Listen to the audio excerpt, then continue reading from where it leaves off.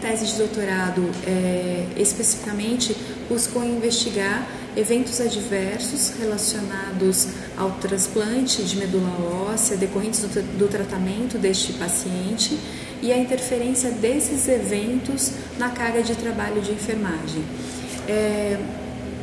de, um, de um modo geral, podemos dizer que é, o grupo de, de pacientes transplantados acompanhados, né, é, tanto de pacientes de transplante autólogo quanto halogênico, eles demandaram um número de horas expressivo da equipe de enfermagem. É, esse número de horas é, é chegou muito próximo ao estabelecido é,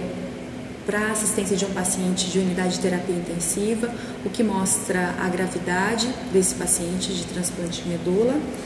É, e, e, também, é, de, de um modo geral, podemos dizer que é, esses eventos adversos, né, de acordo com o número e a gravidade que eles acontecem ao longo é, da internação desse paciente, é,